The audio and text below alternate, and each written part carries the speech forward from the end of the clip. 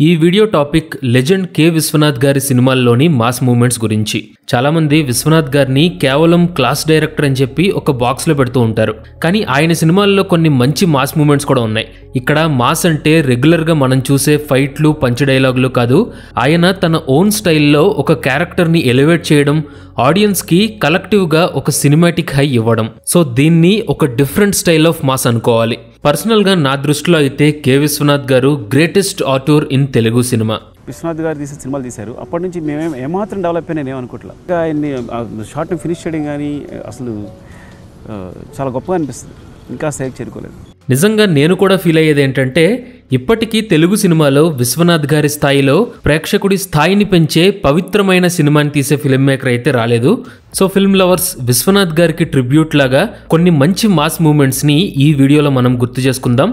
ముందుగా శంకరాభరణంలోని western versus classical music scene ఈ scene context ఏంటంటే శంకర శాస్త్రి ఎదురింట్లో పెద్ద సౌండ్ పెట్టుకుని కొంతమంది కుర్రోళ్ళు మ్యూజిక్ని ప్లే చేసి డిస్టర్బ్ చేస్తూ ఉంటారు. సో శాస్త్రి గారు కోపంగా అక్కడికి వెళ్ళి రాత్రిపూట ఏంటి పిచ్చికేకలు? అని అడిగితే మీ శాస్త్రీయ సంగీతంలో ఏడు అక్షరాలని సాధిస్తే సరిపోతుంది కానీ వెస్ట్రన్ మ్యూజిక్ అనేది సముద్రం లాంటిది దాన్ని నేర్చుకోవడం కష్టం అని శంకర శాస్త్రిని శాస్త్రీయ సంగీతాన్ని అవమానిస్తారు. అప్పుడు వెంటనే శంకర శాస్త్రి కోపం తెచ్చుకోకుండా వాళ్ళ వెస్ట్రన్ మ్యూజిక్ని ఒకసారి విని అదే ట్యూన్ని మళ్ళీ రిపీట్ చేసి వాళ్ళ నోళ్ళు మూయిస్తారు. అలాగే ఒక చిన్న రాగాన్ని పాడి దాన్ని రిపీట్ చేయమని అడిగితే వాళ్ళకి సాధ్యం కాదు. బేసిక్గా ఈ సీన్ని శంకర శాస్త్రి కేవలం తన గాత్రాన్ని ఉపయోగించి ఎదురింటి కుర్రాళ్ళతో చేసే ఫైట్ అనుకోవాలి. సంగీతం యొక్క గొప్పదనాన్ని అలాగే శంకర శాస్త్రి స్టామినాని చూపించడానికి విశ్వనాథ్ గారు ఈ సీన్ని వాడుకున్నారు. అందుకే ఈ సీన్లో ఒకతను తన వెస్ట్ వెస్ట్రన్ మ్యూజిక్ని ఉప్పుతో నిండిన సముద్రంతో పోలిస్తే శాస్త్రి గారు మాత్రం తన సంగీతాన్ని అమృతం నిండిన జీవధారతో పోలుస్తారు. ఈ డైలాగ్స్తో ఏదో క్లాస్ పీకుతున్నట్టు కాకుండా శాస్త్రి గారు తన సంగీతాన్ని చూసే పర్సెప్షన్ని ఆడియన్స్కి కన్వే చేశారు. అలాగే ఈ సీన్లో విశ్వనాథ్ గారు శాస్త్రి గారి చేత సంగీతానికి భాష ప్రాంతం కులం ఇలాంటి అవధులేమీ లేవని క్లాసికల్ అయినా వెస్ట్రన్ అయినా ఏదైనా సరే సంగీతం అనేది ఒక జీవధార లాంటిదని చూపించారు. అలాగే అసలైన కళాకారుడు అనేవాడు ఏ కళనైనా సరే ఆహ్వానిస్తాడు తప్ప అవమానించడు అని ఈ సీన్లో విశ్వనాథ్ గారు కన్వే చేశారు. ఇక తరువాత సాగర సంగమంలోని పంచభూతములు డ్యాన్స్ ఆఫ్. బేసిక్గా ఈ సీన్ బాలు శైలజకి బుద్ధి చెప్పే సీన్. అందరూ శైలజ డ్యాన్స్ని పొగిడితే బాలు మాత్రం క్రిటిసైజ్ చేస్తూ ఆర్టికల్ రాస్తాడు. ఇది చదివి శైలజ హర్ట్ అయిందని చెప్పి ఆమె ఫ్రెండ్ శైలజని బాలు ఆఫీస్కి తీసుకెళ్తాడు. క్రిటిసైజ్ ఎందుకు చేశావని బాలుని క్వశ్చన్ చేసినప్పుడు స్టేజ్ మీద చేసిన పర్ఫార్మెన్స్ని ఇక్కడ చేయమని అడుగుతాడు. శైలజ డ్యాన్స్ చేస్తుంది. ఇది ఏ ఫామ్ ఆఫ్ డ్యాన్స్ అని అడిగితే శైలజ భరతనాట్యం అని కోపంగా చెప్తుంది. అప్పుడు బాలు అసలైన భరతనాట్యాన్ని చేసి చూపిస్తాడు. అలాగే అదే పాటకి కథాకళి కథక్లో కూడా ఎలా డాన్స్ చేస్తారో చేసి చూపిస్తాడు. శైలజతో సహా అక్కడున్న వాళ్ళంతా స్టన్ అయిపోతారు. అప్పుడు బాలు ఇలా అంటాడు. దృష్టి మనసు భావము చేసే కళల మీదే లగ్నమై అప్పుడే రససిద్ధి కలుగుతుంది. నాట్య మయూరి అనిపించుకోవడానికి నువ్వు నేర్చుకోవాల్సింది ఇంకా చాలా ఉంది అని చెప్పి భుజం మీద తట్టి వెళ్ళిపోతాడు. వెళ్తూ వెళ్తూ శైలజ ఫ్రెండ్ని చెంప మీద కొడతాడు. ఆఫీస్ నుండి బయటికి వెళ్ళిపోతున్న బాలుకి డోర్ దగ్గర ఉన్నటువంటి సెక్యూరిటీ గార్డ్ సెల్యూట్ చేస్తాడు. సరిగ్గా ఇక్కడే చూసే ఆడియన్స్కి కూడా బాలు క్యారెక్టర్కి సెల్యూట్ చేయాలనిపిస్తుంది. ఎందుకంటే ఆల్మోస్ట్ ఒక లూజర్ లాగా మొదలైన ఈ పాత్రకి ఒక బలమైన బ్యాక్ స్టోరీ ఉంది అని విశ్వనాథ్ గారు ఈ సీన్తో కన్వే చేశారు. ఎక్కువగా షో ఆఫ్ చేయకుండానే క్యారెక్టరైజేషన్ని బిల్డ్ చేయడం ఎలాగో ఈ సీన్ మనకి నేర్పిస్తుంది. మీరు గమనిస్తే ఈ సీన్లో బాలు తప్ప మిగిలిన వాళ్ళంతా చాలా గట్టిగా అరుస్తూ మాట్లాడతారు. కాకపోతే ఆడియన్స్ మైండ్లో వాళ్ళు చెప్పే పాయింట్ ఏది రిజిస్టర్ కాదు. కానీ హీరో బాలు మాత్రం కామ్గా రెండు మూడు డైలాగ్స్తోనే చెప్పాలనుకునే పాయింట్ని స్ట్రాంగ్గా చెప్తాడు. ఇదే సీన్లో ఒక ఇంట్రెస్టింగ్ మెటఫర్ కూడా ఉంది. అదేంటంటే empty vessels make more noise అన్నట్టుగా ఈ సీన్ మధ్యలో కొన్ని స్టీల్ గ్లాసెస్ కింద పడే విజువల్ ఉంటుంది.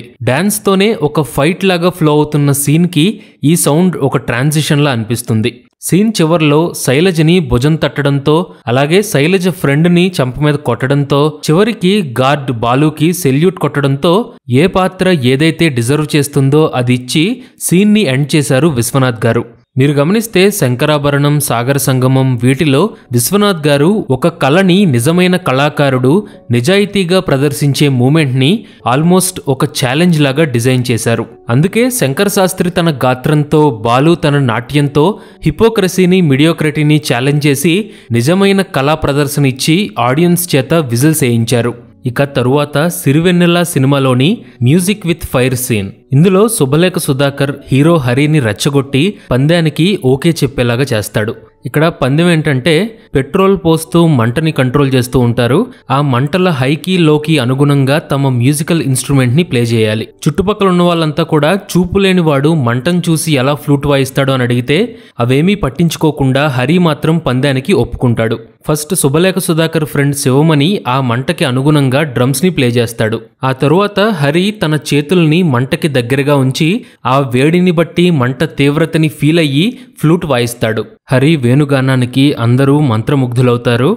అలాగే చూపు లేకపోవడం ఆ పందెం నెగ్గడానికి అసలు అడ్డు కాదు అని హరి ప్రూవ్ చేస్తాడు. కళ అన్నది భావ ప్రకటన మాధ్యమం. మన భావాలకు ఒక అద్భుతమైన రూపం కళ ద్వారా ఇవ్వచ్చు. హరికి చూపు లేకపోవడం తన వీక్నెస్ అనుకుని అలాంటి పందెం పెట్టారు కానీ నిజమైన కళకి లిమిటేషన్స్ ఉండవు అని అసలైన కళాకారుడి కన్విక్షన్ ఎలాంటిదో ఈ ఒక్క సీన్తో విశ్వనాథ్ గారు మనకి చూపించారు. తర్వాత number four Aapadbandhavudu fighting with dancing ఇక్కడ సీన్ ఏంటంటే నాట్య ప్రదర్శన వంకతో మాధవ్ మీద రివెంజ్ని ప్లాన్ చేస్తాడు ఎమ్మెల్యే. మాధవ్ని పొగిడి నాటకం వేయడానికి ఒప్పిస్తాడు. నాటకంలో శివుడు ఒక రాక్షసుడికి చావురాని వరం ఇస్తాడు. ఆ తరువాత శివుడి మీదే దాడికొస్తాడు ఆ రాక్షసుడు. అప్పుడు పార్వతీదేవి వచ్చి ధర్మం లేనివాడి మీద దయేంటి అని అడుగుతుంది. తరువాత శివుడు రుద్రతాండవం చేసి రాక్షస సంహారం చేస్తాడు. ఈ నాటకం జరిగేటప్పుడు మాధవ్ మీద నిజంగానే దాడి చేస్తారు. దాన్ని గమనించినటువంటి హేమ పార్వతీదేవిలాగా స్టేజ్ మీదకి వచ్చి మాధవ్ని ఫైట్ చేయడానికి మోటివేట్ చేస్తుంది.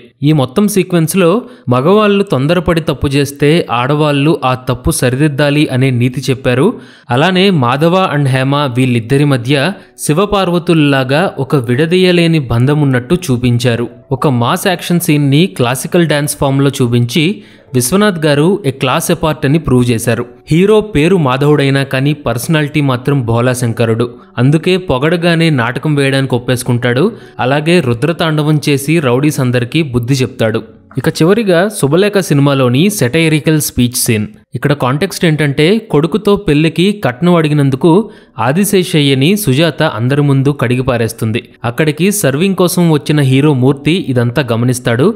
సుజాత చేసింది కరెక్ట్ అని అప్రిషియేట్ చేస్తాడు. కానీ సుజాత ఫాదర్ని ఆదిశేషయ్య అవమానించడం చూసి ఎలాగైనా ఆదిశేషయ్యకి బుద్ధి చెప్పాలి అని మూర్తి ఫిక్స్ అవుతాడు. ఆదిశేషయ్య కోసం ఏర్పాటు చేసిన సన్మాన సభకి వెళ్ళి అతని మీద సెటైర్లు వేసి అవమానిస్తాడు. అలాగే ఆదిశేషయ్య చేసిన వెధవ పనులన్నిటినీ జనానికి చదివి వినిపించి పరువు తీస్తాడు.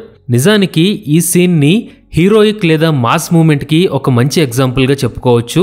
ఎందుకంటే విలన్ యొక్క ఐడియాలజీని హిపోక్రసీని హీరో కేవలం తన మాటలతోనూ సెటైర్లతోనూ బయటపెట్టడం అనేది చాలా ఫ్రెష్గా అనిపిస్తుంది. ఇలా విశ్వనాథ్ గారు తన రైటింగ్తో డైరెక్షన్తో ఆయన సినిమాల్లో కొన్ని యూనిక్ మాస్ మూమెంట్స్ని క్రియేట్ చేశారు. సినిమాల్ని జస్ట్ ఎంటర్టైన్మెంట్ కోసం చూడడంలో తప్పులేదు కానీ కె. విశ్వనాథ్ గారు మాత్రం ఆయన సినిమాలతో ఎంటర్టైన్మెంట్ మాత్రమే కాకుండా ఎన్లైట్మెంట్ కూడా అందించి ప్రేక్షకుణ్ణి మరో మెట్టెక్కించారు. కళ అనేది పవిత్రమైంది అని ప్రూవ్ చేశారు. జోహార్ K. Vishwanath long live Telugu cinema.